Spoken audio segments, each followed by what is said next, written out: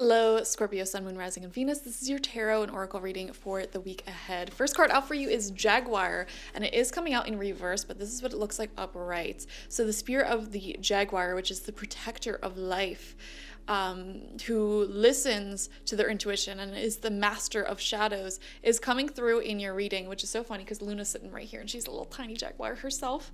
Um, but it is coming out in reverse, so the jaguar spirit has some medicine, some healing wisdom for you this week.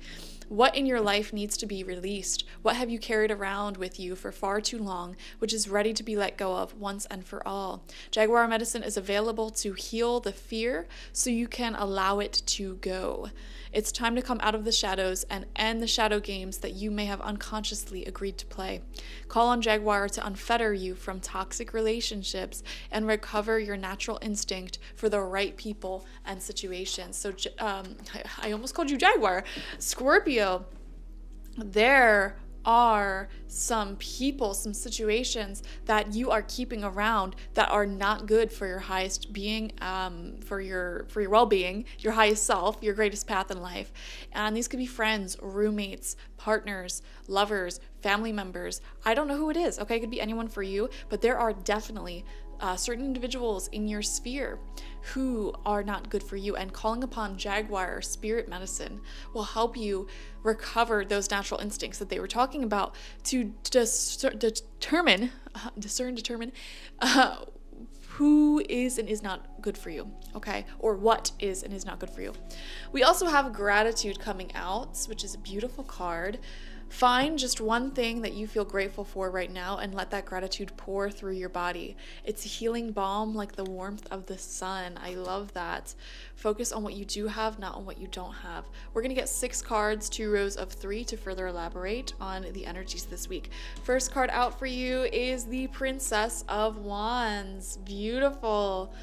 Mm, there is some passionate, fiery new beginnings here. I feel like you have certain passions. I'm seeing like new hobbies, new business idea energy for a lot of you um, that you're learning a lot about. You're really diving deep into this, studying, researching everything that you can, uh, which is really cool. Um, I'm seeing a lot of studying for some reason. Sagittarius energy is coming out strongly. We have the Princess of Swords right next to the Princess of Wands, both upright. This rarely happens, and I love this this is like again you're learning something. A lot of you are like i don't know if you're like on duolingo learning a new language or a new hobby that you're learning off of youtube or something i'm seeing something like that or it's like a diy project um, fixing up something in your house. Like it feels very much like you are self studying something, learning something on your own, doing something on your own.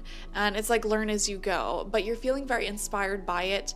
Um, when you're in this state, your crown chakra is completely open and if you feel very spiritually alive and connected um, and just in a really great place. So that's wonderful third card out for you is the Six of Cups in reverse. Mm.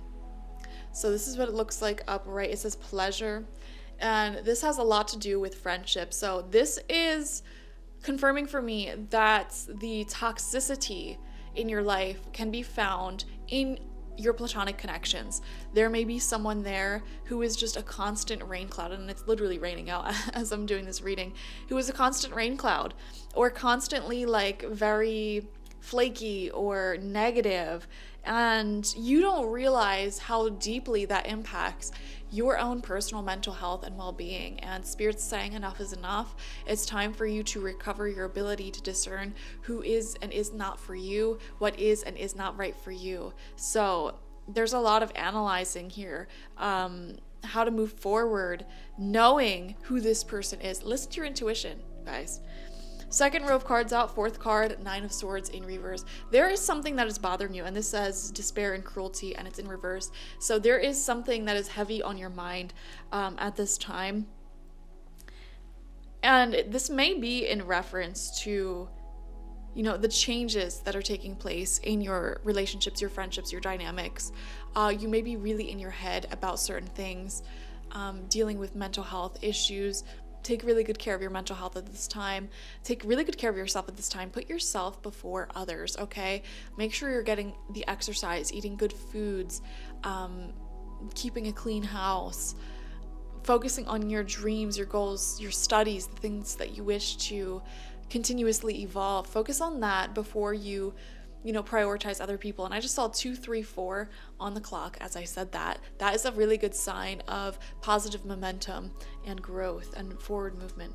We have justice coming out. All the hard work that you're putting in to your studies, to your goals, your dreams, your aspirations, whatever you're feeling passionate about right now is gonna pay off.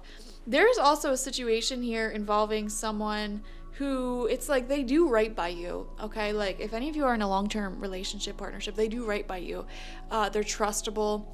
They are telling you the truth. Um, there may be some overthinking involved there as well. But yeah this is a very trustworthy energy. Um, good karma is coming to you and I just feel like the scales are balancing out this week. There are really amazing friendships and relationships in your life, and it's literally just like one, one person or situation that is just eh, a little questionable. It's it's giving me a little bit of doubt here. Um, but you're feeling really grateful for what you do have, what is going on. Let's see what the last card is. Ooh, last card is the Magician in reverse. Wow you have all the tools you need to get started. Decide what you want so that it comes to you now. Whenever the magician comes out in reverse, it's telling us the need to get clear about what we want, what we're doing, and to simply take action on it. Um, some of you guys, this may be a situation where you know that an issue exists, but you're not taking action to resolve said issue, and that will further complicate things. Another message of the magician coming out in reverse, especially underneath the Six of Cups in reverse, is manipulation. Okay, for example, someone may have more money uh, then they like if this is like someone living with you or a renter if you have like a tenant um, and they're you know giving you this whole story of like oh i don't have any money blah blah blah they have money they're lying okay? Um, or something like that you know? It's a situation where someone wants you to believe something but there's more to the story here and it's just like little white lies like that that are really like you can't trust this person. I don't care if it's a little white lie like it's a lie point blank period and you know, I just don't like the magician in reverse. It gives me douchebaggery energy, someone who's only looking out for themselves um, and tearing other people down in the process. So just be careful of people like that. And you know, they can creep up on you. They can consider you a friend. You can consider them a friend. You could be very loyal to them. But it's like, okay, if you're constantly the one giving them advice, you know, um, cutting cutting the slack for them, uh, cutting them slack, uh, picking up the slack for them you know, it's like, it then becomes like, what are you even getting out of this? Because you're constantly serving this person and they're doing nothing for you. And on top of that, I feel like a rain cloud energy. Like they're very, very negative in addition to all of that.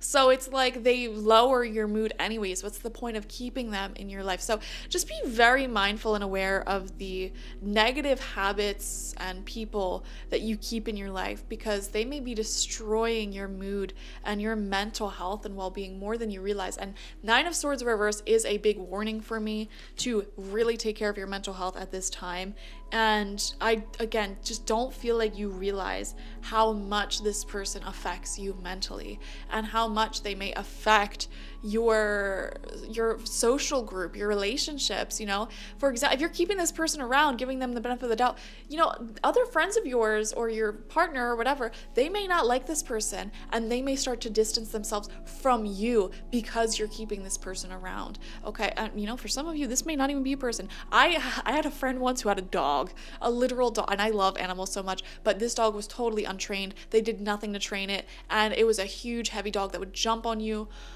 so much like punch you in the face like they ripped my clothes knocked my nose ring out before uh, gave me bruises tried eating my phone like things like that. And it was annoying going to their house. It annoyed me so much that i stopped showing up in that friendship like over a dog. And it's like why? And now obviously i'm if you have a pet i'm not telling you to get rid of your pets at all okay? Train them if that's the case but you know, it's that's an example. Like you're carrying this negative rain cloud energy with you, giving them the benefit of the doubt, and it's pushing other people away from you. Like you're keeping someone's negative energy so close to you that it then becomes your negative energy, and other people don't want to be around you. That it, this can affect your relationships much deeper, your life much deeper than you realize, right, Lumpai? So you know, just pay attention to that. All right, thank you guys for joining me. Like this video, comment how it resonated down below, and subscribe to the channel if you have not already. Watch for your sun, moon, rising, and Venus signs to get the fullest overview of this week ahead. And if you want a personal reading with me one on one, the link to that is always in the description box, spiritpsychic.org. Thank you guys. Bye bye.